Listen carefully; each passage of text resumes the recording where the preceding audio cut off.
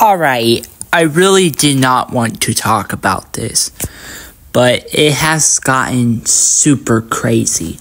So, the Mr. Beast situation sounds pretty true, and a bunch of people have been in a video before of a Mr. Beast video. He has about 3 million hundred subscribers, which is insane. And hearing this allegation, it actually sounds 100% true because lots of companies do this. And Mr. Beast false advertised with the Feastable bars and false advertising is illegal of where he's at. And it's not right because he claimed that it was basically healthy and I quote not actually healthy because the fact he's selling feastable bars and claiming it's healthy it's not. It is utterly stupid how he's getting away with this. I get how he has so many subscribers that youtube actually gets paid for every video he uploads but I'm not going to sit around here and let YouTube let Mr. Beast do all this crap. The fact he's doing this, it's insane. It's stupid. And I don't care if his videos are fake.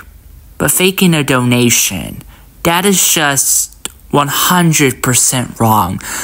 And I'll even tell you guys some other stuff he did. Illegal gambling, illegal lottery. Gambling is an addiction, by the way. So, yeah, I mean, it's one thing to gamble in game money that's not even real money, but real money on the, other hand, that's where I drop the line. I mean, real money, you actually spend real money. Like, you have to literally get up off your butt and literally work for that money.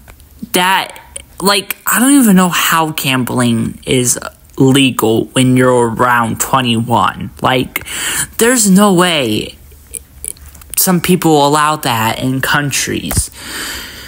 But other than that, I just feel like stuff like this should just have a punishment because this is utterly 100% illegal, Mr. Beast. And guess what?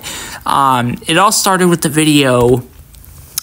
I think it was titled, I worked for Mr. Beast and it's not what it seems. And basically, he goes in and talks about the Mr. Beast situation and what's going on behind the scene.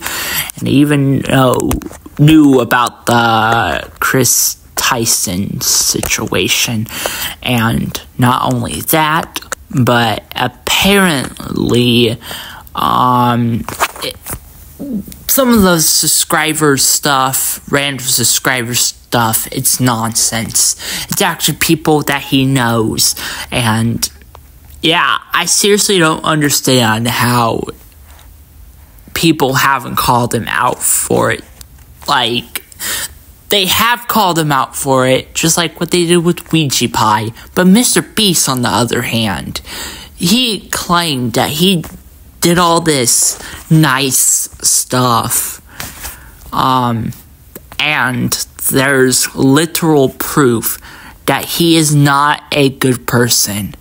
And it's utterly disgusting how Mr. Beast claims to be the wonderful person on the internet. Like, he is 100% the only person with 3 million subscribers that I know of. Like, it's super rare for anyone to have that many subscribers. I mean, no one other than him has reached that far. Like, oh my god. How is this possible? I mean, YouTube doesn't even promote my YouTube channel or anyone else who talks about the situation. I mean, it is insane how Mr. Beast is still allowed on the platform after hearing all this situation. And he even sent out a cease and desist letter to someone who started the allegation. And I guess this actually does prove more than you would actually think, because this proves that Mr. Beast is a fraud. He promotes illegal gambling, illegal lotteries, and I'm not going to deal with it. I'm absolutely not going to deal with it. I would totally give you $1,000 if you eat all of my fraudables because I am a fraud.